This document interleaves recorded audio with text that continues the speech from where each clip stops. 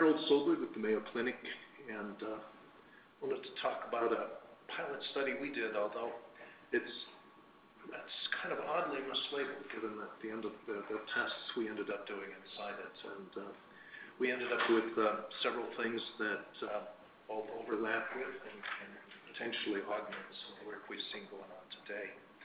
Our three deliverables consisted of um, an examination of uh, metadata schema harmonization. In particular, we looked at trying to align uh, the dbGaP metadata model with the emerging bioCADDIE um, DATS, I think it is, the model for the bioCADDIE. Um, looked at how we could use some of that alignment for actually um, converting variables uh, and doing study-level transformation. And then one that started, I've been hearing more about is exposing variables of various sorts via schema.org. Okay, so um, in in the first deliverable, um, we used an OWL model of um, ISO 11779, and we created converters that took the uh, dbGaP XML schema and converted it into an OWL representation.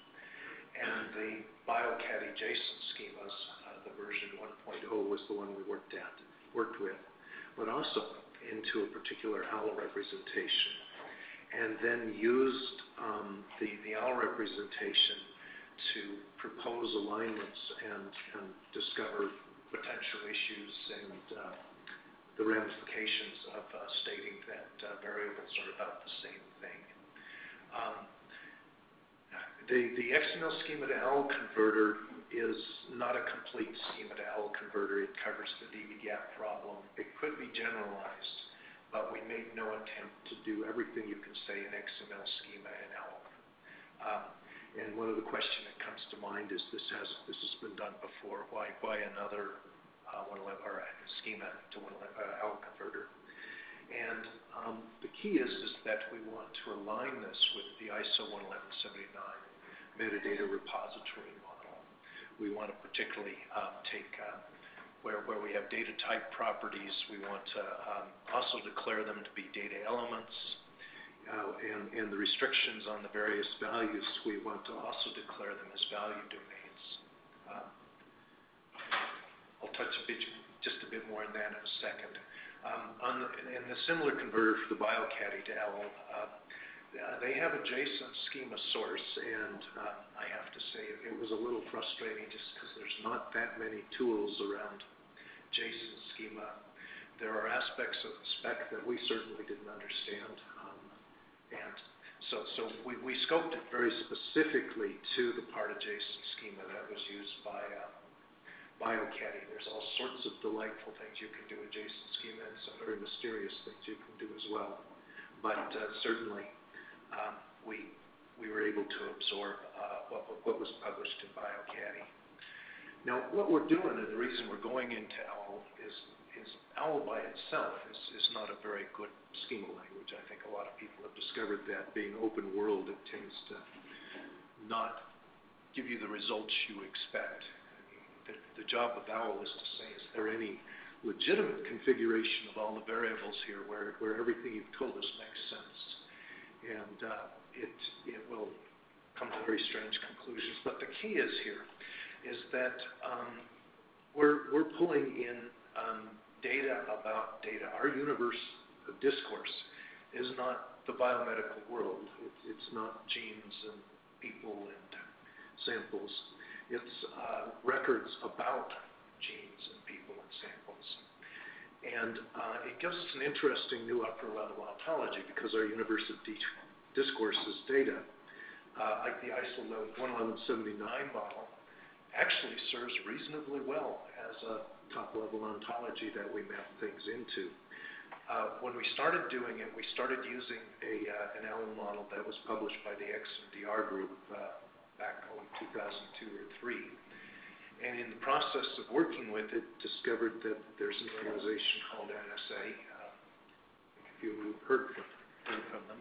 And for interesting reasons, uh, they've decided that some of the stuff that was hidden behind uh, their firewall is no longer so secret. And uh, so in particular, they're making a finished model, L model, public um, here. Let's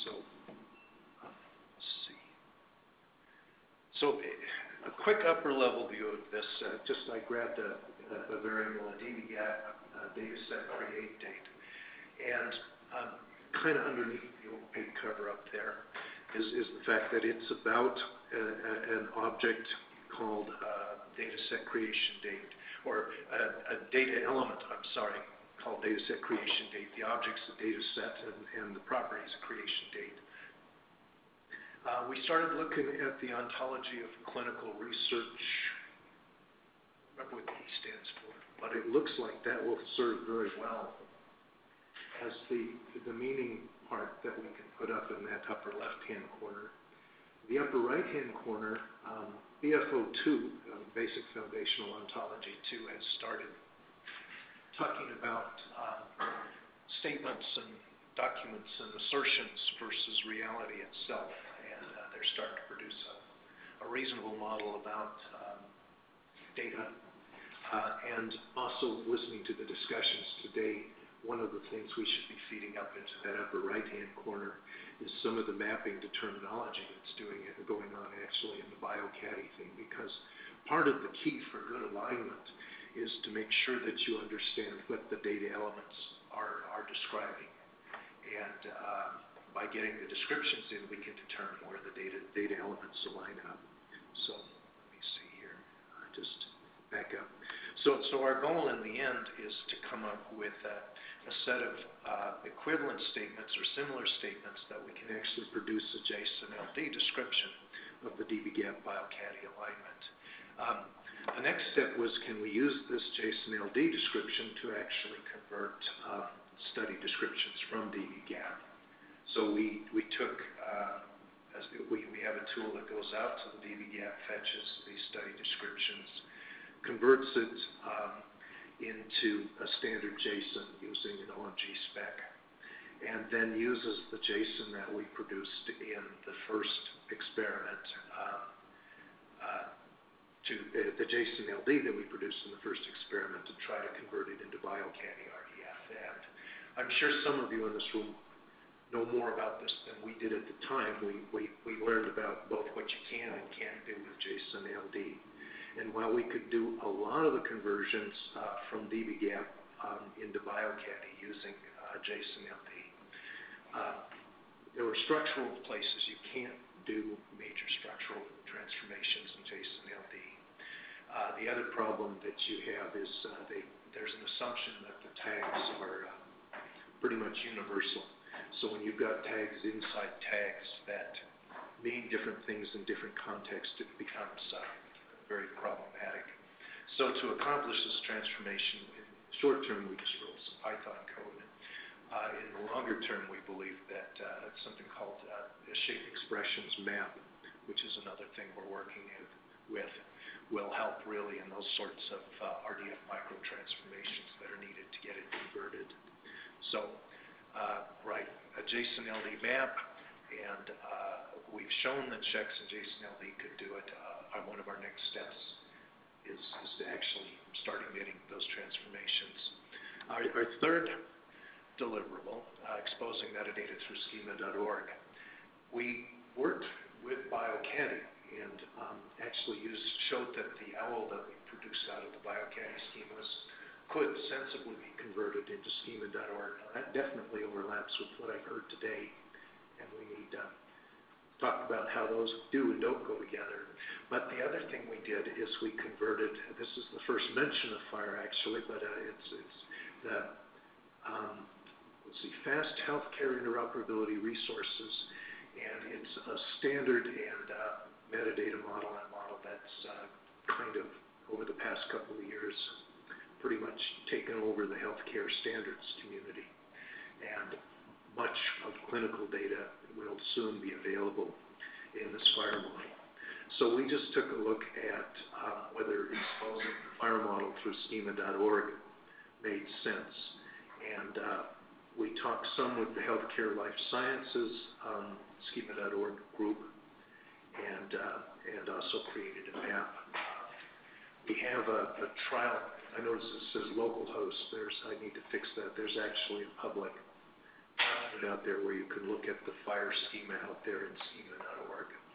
Uh, just a sample here of observation with the body site and uh, um, uh, some sample observation codes and what have you. Uh, and that's out there. We've had the FHIR community looking at it, um, and there's been a lot of varied responses, uh, some very interested and some interesting concerns. Um, our next step really, and I think it's probably the next step that uh, you would want to do here with uh, the bioCADDIE and Schema.org, is to come up with some use cases to make sure that it makes sense. The two that we've got is one, the FHIR specification states that when you exchange data, you need a human-readable form, of whatever data you exchange, and that form is typically HTML. We're looking at it as both a way of marking up the HTML with the provenance uh, for big data records, but also possibly um, just having the HTML as the primary vehicle with uh, a JSON-LD container. Um, the other one that uh, we're looking at is some of the health apps, the mobile apps that emit clinical data of various sorts, and whether it wouldn't make sense to mark up some of the XML or HTML that comes out of there. And then I'm saying reconcile with the health and medical types and also uh, with uh, what's uh, the other one is stuff coming out of bioCADDIE.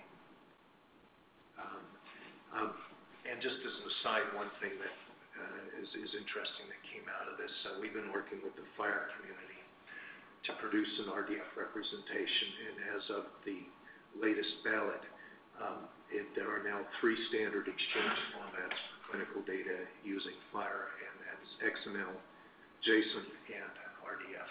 Uh, the uh, shape expressions language is being used for description and validation, and starting to work on mapping tools is the next step.